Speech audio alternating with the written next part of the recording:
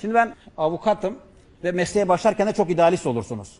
Ben de e, yeni başlamışım. Beyoğlu Adliyesi'nde CMK işleri verdiler bana. CMK da işte fakir ve suçlulara devlet avukat atıyor. Fakir ve suçlu başına da avukata 100 lira para veriyor. Duruşma avukatlığı yapacağım bir e, sanık için. Sanık da trans birey vatandaş. Bir taksiciyle söz diyaloğuna girmişler. Taksici şikayetçi olmuş. Hakkında bu e, trans bireyin hakkında hakaretten dava açılmış. İşte ben de gittim. Duruşma öncesinde sanıkla görüşüyorum. Haklarını söylüyorum. İşte o da bana böyle dik dik konuştu böyle. Avukat bey senin kaçıncı duruşman dedi. Dedim ikinci. Benim 33. dedi. Ya, yani böyle avukatından daha deneyimli bir müvekkil denk geldi. Bana dedi mabal okuma dedi. tamam dedim ne yapayım o zaman? Benim hakkımda dedi karakol ifade tutanağında travesti yazmışlar dedi. Değiştirebiliyorsan onu değiştir dedi. Avukatlığına güveniyorsan dedi. Ben de daha yeni başlamışım ya. Ne demek avukatlığına güveniyorsan dedim. Biz bunun için varız. Avukatın değiştiremeyeceği hiçbir şey yoktur. Sen dedim yeter ki avukatına güven. Haydi görelim dedi. İçeri gireceğiz. Duruşma bekliyor zaman nasıl değiştireceğime dair hiçbir fikrim yok. İçimde kendime hakime konuşma hazırlıyorum böyle yani. Bayağı bir tirat hazırlıyorum. Kişilik hakları filan. Mübaşir de bizi bir türlü almadı. Normalde listeye göre alması gerekiyor mübaşirlerin. İşte tanık var bilmem ne bizi geciktirdi. Ya dedim alsana bizim mübaşir bekle avukat bey filan. En son içeri girdim hakime şikayet ettim. Efendim dedim bizim sıramız gelmesine rağmen mübaşir bey bizi almıyor dedim. Avukat beyin dosyasını alsana dedi ya niye bekletiyorsun dedi. Efendim öyle değil tamam al dedi.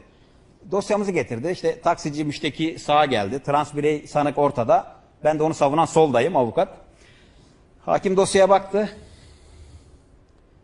Taksiciye sordu. Müştekiye soruldu dedi. Şikayetin devam ediyor mu? Evet efendim şikayetçiyim dedi. Sanağa soruldu dedi.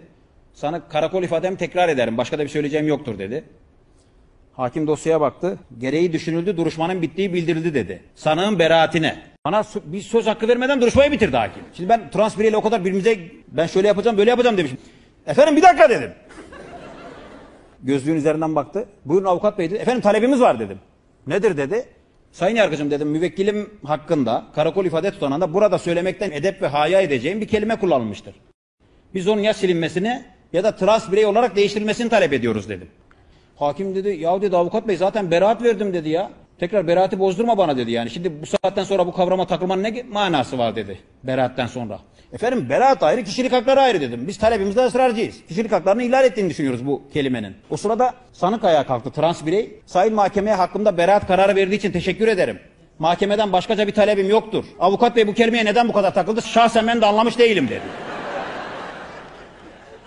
Duruşma salonu bir dalgalandı. O sırada duruşma bekleyen başka bir vatandaş seyirciler arasında da hakikaten beraat aldı. Avukat bey niye bu kadar takıldı ki bu kelimeye dedi. Yanındaki avukatı da bilemezsiniz meslektaş gizli gay olabilir dedi. ya şimdi ben homofobik değilim ama daha mesleğin başında adım çıkacak gizli gay avukat diye. Sanık müdafi avukatken acaba gizli gay mi değil mi diye tüm duruşma salonu yargıladığı bir kişiye dönüştüm. Ve o can havliyle sanık müvekkile döndüm sinirle lan dedim ip ne?